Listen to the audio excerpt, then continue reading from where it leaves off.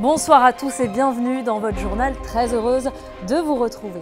À la une ce soir, la présentation du slogan officiel du Grand Recensement 2024. Nous sommes aujourd'hui à deux mois de cette grande enquête très utile pour les politiques publiques. Elle a désormais un nom et un logo. La population palestinienne continue de faire les frais de l'escalade. Un nouvel ordre d'évacuation fait craindre une opération israélienne d'envergure. Nous serons dans le nord de l'enclave totalement assiégé. Et puis à la fin de cette édition, dans la rubrique culturelle, nous découvrirons l'univers de Las Fillas de Cassandra. Sur, sur la scène de l'Institut Cervantes, le groupe mêle les rythmes traditionnels galiciens aux accents électro. Voilà pour les titres. Le slogan, le logo, le visuel du recensement 2024 sont désormais connus. À deux mois du lancement de cette grande enquête, ils serviront au programme de sensibilisation mené auprès des citoyens. Une manière aussi de faciliter le travail des agents recenseurs qui seront chargés de collecter des données visant à chiffrer la population marocaine avec la plus grande précision. Adil Lutété avec notre bureau de Rabat. Deux mois nous séparent du 7e recensement général de la population et de l'habitat de l'histoire du pays. Cet après-midi a été dédié au dévoilement de la campagne de communication relative à l'opération, l'occasion de livrer plus de détails sur le processus de préparation. Ce dernier a été marqué entre autres par le ratissage général de l'ensemble du territoire national. Résultat, sa décomposition en 38 000 districts de recensement afin de tout passer au peigne fin. Nous avons pu identifier tous les habitats et, les, habitats et les, constructions d'une part, et d'autre part les activités économiques et sociales qui, existent dans chacun de ces districts. Ce qui va nous permettre d'avoir, d'assurer la globalité du recensement le processus de préparation a également été marqué par la formation en ligne des composantes du staff amené à réaliser le recensement. La formation prend désormais un caractère pratique. La formation en présentiel, que nous, avons, que nous allons commencer par la formation des formateurs à Rabat, puis la formation de ces formateurs qui auront formé toute la hiérarchie des intervenants sur le terrain euh, euh, euh, au niveau des, des régions, des provinces et des communes rurales et des communes. Au cours de cette cérémonie, il a été procédé à la projection dynamique des cartographies géoréférencées des constructions, logements et établissements économiques actifs. Ces dernières représentent les bases géographiques humaines et économiques du royaume. Les dates de certains concours donnant accès aux instituts supérieurs ont été reportées. C'est ce qu'a fait savoir Shakib Ben Moussa devant les élus de la Chambre des représentants. Aujourd'hui, le ministre de l'Éducation nationale a ainsi détaillé les raisons de cette mesure. Elle devrait permettre aux élèves convoqués aux épreuves de rattrapage de concourir également. Les précisions d'Yassine Lazaz en coordination avec le ministère de l'Enseignement supérieur, de la Recherche scientifique et de l'Innovation, les dates de certains concours d'entrée aux instituts supérieurs ou aux établissements à accès limité ont été reportées après le 19 juillet, date à laquelle seront annoncés les résultats des examens de la session du rattrapage du baccalauréat. Cette mesure vise à donner l'opportunité aux élèves convoqués aux épreuves de rattrapage de passer ces concours.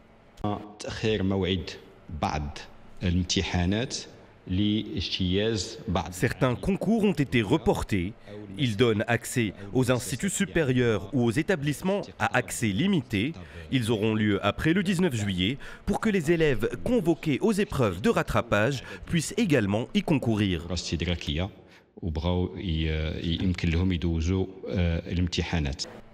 Par ailleurs, le ministre de l'Éducation nationale a aussi abordé les développements qui ont marqué les examens du baccalauréat de cette année, notamment la simplification et la numérisation de la livraison des sujets du baccalauréat aux académies régionales d'éducation et de formation, l'augmentation du niveau de sécurité des épreuves écrites grâce à l'adoption de codes secrets électroniques afin de renforcer les processus de correction et de saisie des notes, ainsi que de réduire la période précédant l'annonce des résultats.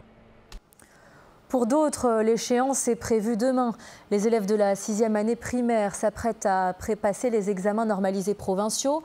Illustration dans ce reportage par la province de Taza, où le nombre de candidats s'élève à près de 10 000, répartis sur quelques 400 centres d'examen. Tous ont pu euh, bénéficier du programme de soutien scolaire. Driss Cohen et Sarah Jabri. Des exercices de soutien en langue arabe afin de consolider les acquis. L'heure des vacances n'a pas encore sonné pour ces écoliers qui se préparent pour l'examen normalisé provincial de la sixième année primaire. Cette semaine, nous avons révisé des leçons d'arabe, de français et des exercices de mathématiques. Nos enseignants ont fourni un effort considérable pour combler toutes nos lacunes. Bon courage à tous mes camarades. Nous avons identifié les leçons qui feront potentiellement partie de l'examen et nous avons vu et corrigé ensemble d'anciennes épreuves pour qu'ils se préparent bien comme il faut. Nous leur souhaitons bonne chance. Un programme provincial de soutien scolaire a été mis en œuvre au profit de tous les candidats. 411 centres d'examen seront aménagés et pas moins de 1460 enseignants mobilisés pour que ces épreuves se déroulent dans les meilleures conditions. Nous avons établi un planning de cours intensifs au profit de tous nos élèves conformément au principe de l'égalité des chances. Le soutien et l'accompagnement psychologique des candidats est aussi pris en considération dans le cadre des actions que nous menons, en plus de mobiliser tous les moyens humains et logistiques nécessaires pour la réussite de l'organisation et de la tenue de ces épreuves.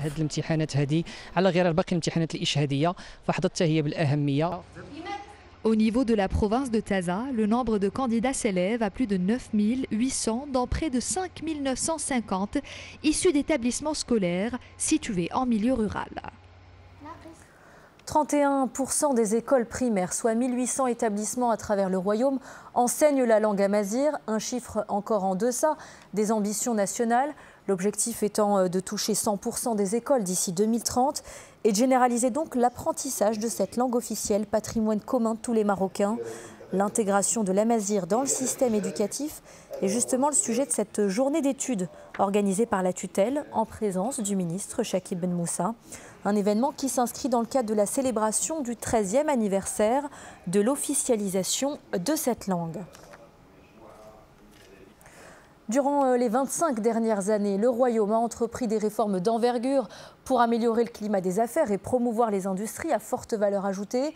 Des atouts qui permettent au Maroc de jouer le rôle de trait d'union entre les États-Unis et le continent africain. La question était au cœur d'une rencontre organisée à Washington à l'initiative du prestigieux Centre de recherche américain Atlantic Council. Les précisions d'Oussama Bakhali. Attractivité pour les investissements, amélioration continue du climat des affaires et infrastructures aux standards internationaux, le fort potentiel du Royaume en matière d'industrie à forte valeur ajoutée était au cœur de cette rencontre initiée hier par l'Atlantic Council. À Washington, le prestigieux centre de recherche américain a rassemblé lors de ce débat le ministre de l'Industrie et du Commerce du Maroc, Riyad Mzour, l'ambassadeur du Royaume aux États-Unis, Youssef Hamrani, ainsi que la présidente du Corporate Council for Africa, Foriza Laser. Le ministre a mis en évidence qu'à la faveur de la vision de Sa Majesté le roi Mohamed Le Maroc a développé une expérience authentique dans plusieurs domaines qui lui permettent de jouir d'une crédibilité indéniable à l'international. Grâce à des réformes et des efforts importants, le Royaume a ainsi renforcé sa compétitivité dans divers secteurs clés, contribuant à la stimulation des investissements directs étrangers. À cet égard, le port de Derla Atlantique permettra au Maroc de consolider ses infrastructures et son positionnement en tant que plaque tournante pour les investissements en Afrique et constituera d'après Riyad Mzour un débouché maritime vital pour les pays du Sahel vers l'océan Atlantique. Au programme de ce débat se trouvait également l'accord de libre-échange entre Rabat et Washington, l'unique liant les États-Unis à un pays du continent africain. Conclu il y a deux décennies, cet accord est aujourd'hui soumis à une nouvelle dynamique, à même de renforcer l'activité économique et la compétitivité du Royaume qui aspire à doubler la taille de son économie.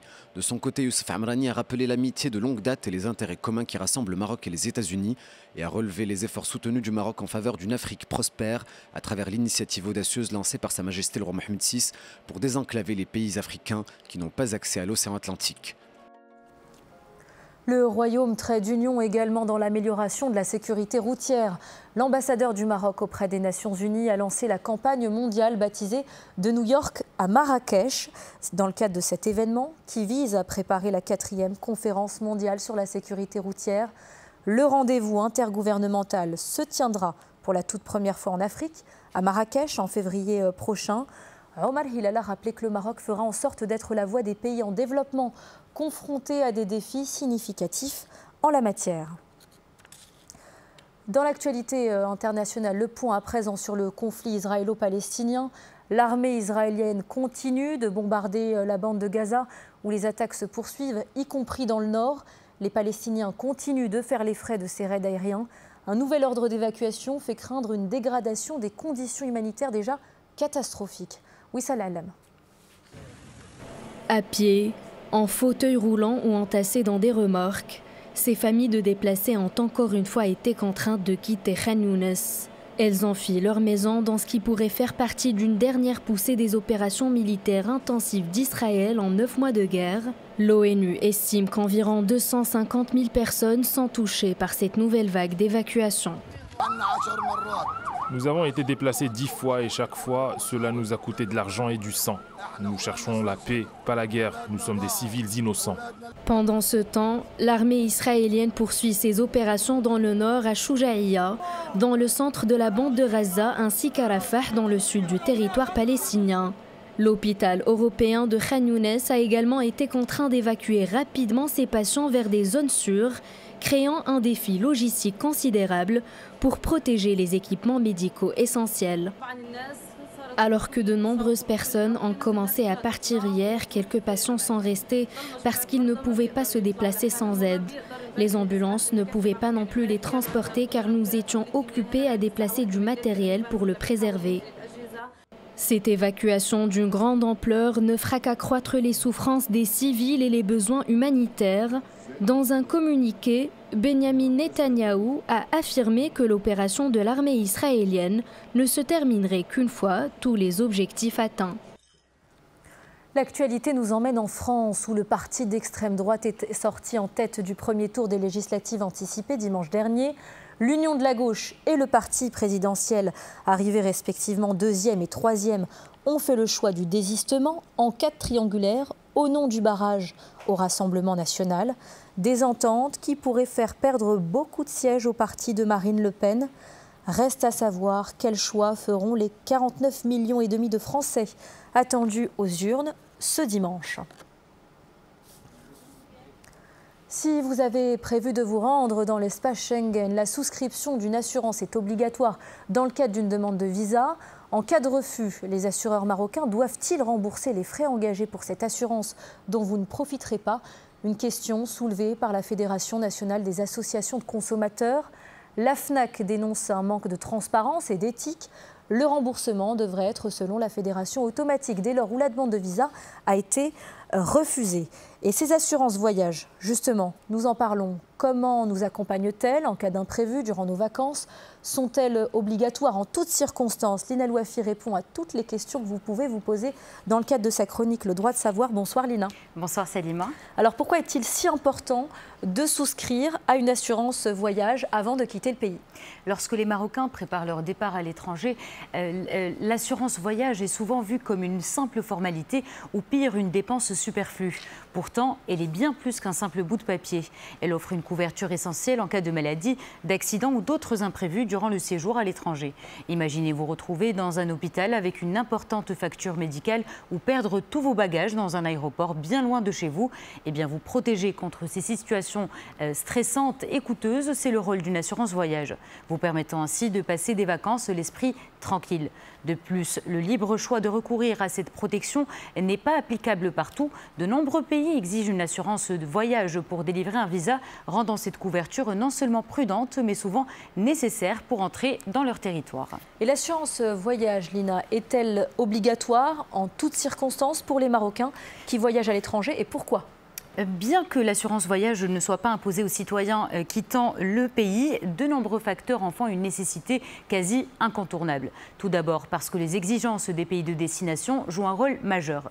Par exemple, pour obtenir un visa Schengen, une assurance couvrant les frais médicaux euh, et de rapatriement à hauteur de 30 000 euros est obligatoire. D'autre part, voyager sans assurance est une prise de risque importante. Les coûts de soins médicaux à l'étranger peuvent être exorbitants et sans couverture adéquate, un simple accident peut se transformer en une crise financière. Et tout cela sans compter bien sûr les imprévus comme les annulations, la perte des bagages ou les retards qui peuvent perturber un voyage non assuré. Toutefois, même si vous ne quittez pas votre pays de résidence, il est important de faire la distinction entre les différents types d'assurance en fonction de la situation. Je cite entre autres l'assurance maladie, l'assurance automobile ou encore l'assurance voyage intérieur. En fin de compte, qu'elle soit exigée ou pas, souscrire à une assurance de voyage est une question de sécurité et de bon sens, garantissant la protection des voyageurs contre les aléas des voyages internationaux. Et merci beaucoup Lina pour ces informations. Allez, je vous propose à présent de prendre un bon bol d'air frais, direction le parc national de Tasca, la région de Fès-Meknès et le terrain de jeu idéal pour les randonnées pédestres.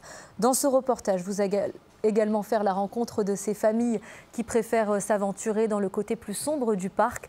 Le site regorge de grottes. L'une d'entre elles prend la forme d'une rivière souterraine longue de plus de 7 km. Driss Cohen et Sarah Jabri. Avec le sourire et un thé à la menthe, Siham accueille ses convives. Gérante d'une maison d'hôtes, elle propose des services d'hébergement et de restauration dans les environs de Taza. Et aujourd'hui, elle reçoit une famille passionnée de spéléologie. Notre établissement est situé au niveau du parc national de Tezca et nous sommes à un kilomètre seulement de la grotte Frewato. Les visiteurs viennent de toutes les régions du royaume pour explorer cette zone montagneuse et faire plein d'activités. Et justement, après un repas matinal copieux, place à l'aventure. Combinaisons, chaussures, casques, des équipements de protection sont indispensables pour explorer en toute sécurité l'une des multiples grottes du parc. Aujourd'hui, nous avons visité la grotte d'Izora. C'était fabuleux et enrichissant. J'espère refaire cette activité encore une fois. Nous organisons très fréquemment des expéditions pour explorer les grottes du parc en compagnie de nos enfants et nous essayons de partager avec eux notre passion pour la spéléologie. Pour les moins aventuriers, des espaces ont été spécialement aménagés à l'entrée du parc pour des pique-niques en plein air et à l'ombre des chênes. Je viens de Gersif et c'est la première fois que je visite le parc. Le paysage est magnifique, nous nous sommes baladés et là, nous nous reposons en famille. Situé à une vingtaine de kilomètres de Taza, le parc national de Tazka s'étend sur plus de 11 000 hectares et renferme plus de 300 grottes. Des circuits pédestres et équestres sont conçus sur tout le site offrant aux randonneurs et amoureux de la nature un terrain vaste d'exploration et de découverte. Le comité marocain chargé des préparatifs de la Coupe du Monde 2030 peaufine l'organisation. En témoigne une nouvelle réunion organisée à Casablanca au lendemain de celle organisée à Fès. À six ans de l'ouverture de ce rendez-vous planétaire, ces discussions permettent de faire le point sur les chantiers d'infrastructure.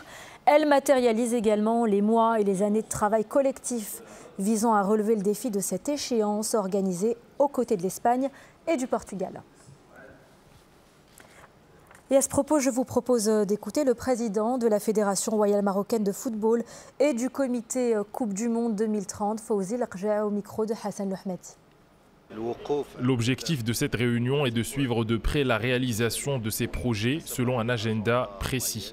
Notre pays s'apprête à accueillir plusieurs manifestations sportives à partir de l'année prochaine et jusqu'à 2030. Je pense que les Marocains seront, comme à l'accoutumée, mobilisés derrière Sa Majesté le roi Mohamed VI pour véhiculer l'image qui représente réellement notre pays.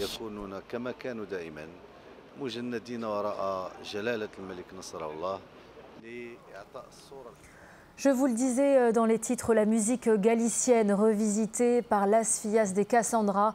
Ce groupe féminin a fait voyager l'identité musicale de cette région espagnole bien au-delà de ses frontières. En tournée mondiale dans les instituts Cervantes du Maroc, elles ont partagé avec leur public l'univers engagé de leurs chansons. De quoi laisser flotter euh, sur scène des parfums du nord-ouest de la péninsule ibérique. Atman Mercado, le récit de Samia Harissi.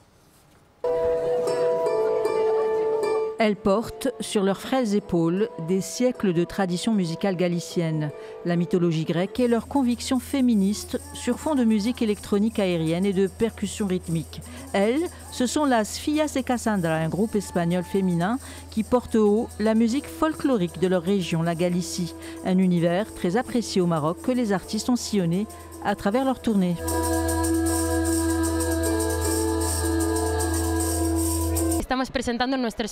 Nous arrivons à la fin de notre tournée au Maroc où nous avons présenté notre spectacle Ultimas Dionysicas, inspiré de l'univers grec et des héroïnes de la mythologie classique. Nous avons vraiment ressenti beaucoup d'émotions au cours de notre tournée dans les instituts Cervantes au Maroc. Les réactions du public ont été impressionnantes. Finalement, les racines de la musique se connectent entre elles. Las Fillas de Cassandra joue les Cassandres en faisant un parallèle très judicieux entre la condition féminine dans l'Antiquité grecque et celle de la femme de nos jours. Le tout sur des rythmes festifs. Nous terminons la saison culturelle en fête avec le concert de las Fillas de Cassandra. Elles représentent la musique galicienne et sont très connues actuellement en Espagne. Es un grupo de muy reconocido ahora en España. Après Tanger, Tétouan, Fès, Casablanca et Marrakech, où elles se sont produites le week-end dernier, Las Fillas de Cassandra reprennent leur tournée en Espagne en chantant avec grâce la parité, la liberté et l'égalité. Il me reste à vous rappeler la principale information de ce journal, la présentation du slogan officiel du grand recensement de 2024. À deux mois de cette grande enquête, très utile pour les politiques publiques, il servira au programme de sensibilisation mené auprès des citoyens afin que la population marocaine puisse être chiffrée avec la plus grande précision. C'est ainsi que s'achève cette édition. Merci de m'avoir accompagné. Dans un instant, El Messaïa de Zakaria et Ablemjid. Ensuite, ne ratez pas votre émission Débat, Ma'aram Dani.